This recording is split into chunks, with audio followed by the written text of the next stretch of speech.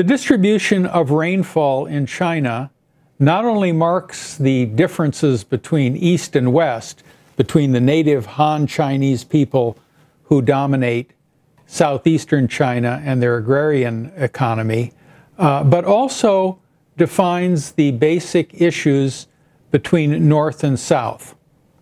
Again, let's return to our rainfall map, which shows that the bulk of the rainfall is in the south. And this is in contrast to the agricultural map, which shows that most agricultural cultivation is in the north.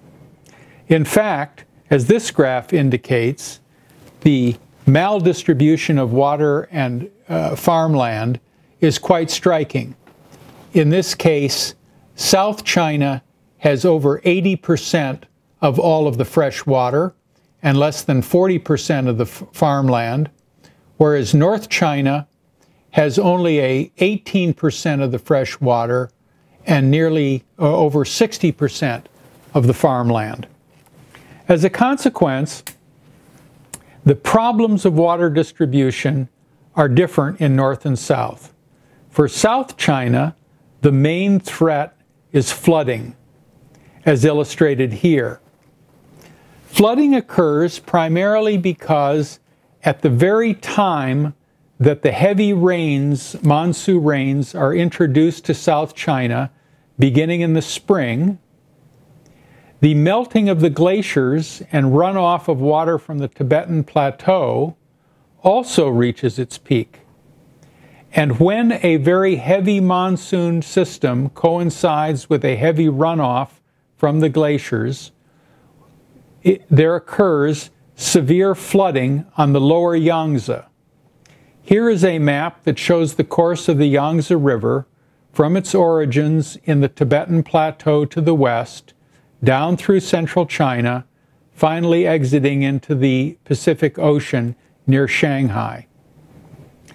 In many years, the Tibetan uh, runoffs bring excessive waters into the lower Yangtze, causing very serious flooding, which has occurred repeatedly throughout Chinese history and even down into recent years.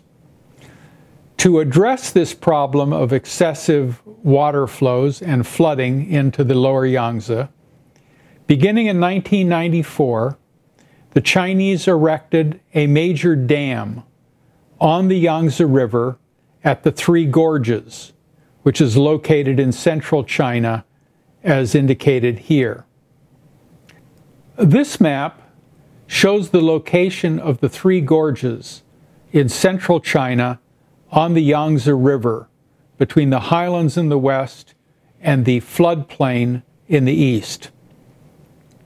The Three Gorges provide a, an ideal location for the creation of a large hydroelectric dam, which the Chinese began to build in 1994 and completed 14 years later in 2008. This is one of the largest construction projects in China, rivaling the Great Wall and the Grand Canal. It, now, it is now used to produce hydroelectric energy, to control navigation, allow ships to, to come from the Pacific Ocean and to be raised by locks and to uh, continue up to Chongqing in, in, in western China. And most importantly, it creates a huge reservoir that allows the Chinese to control the flow of water, damming it up and holding the water in the reservoir when floods threaten the lower Yangtze and releasing the water as required for irrigation downstream.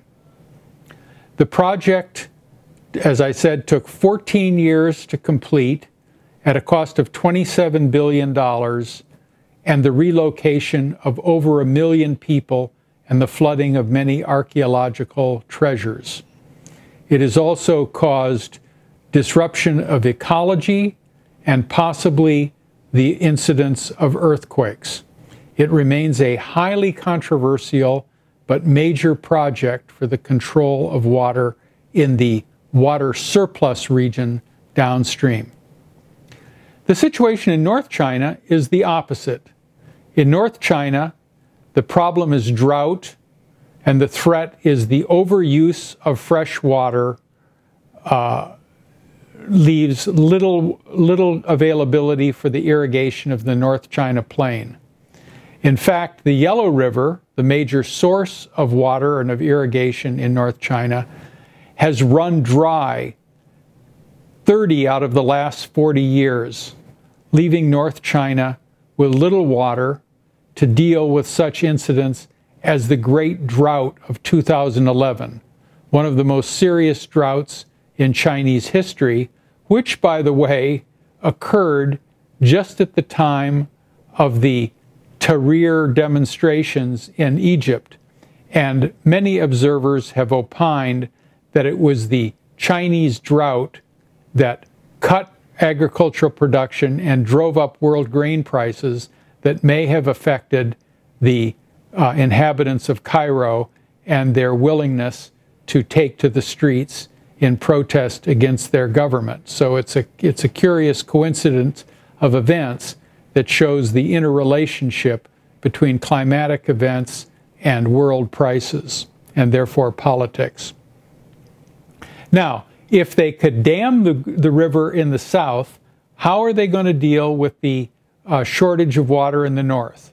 Well, in similar fashion, the Chinese have undertaken a major engineering and construction project, which is known by the Chinese name the South to North Water Transfer Project.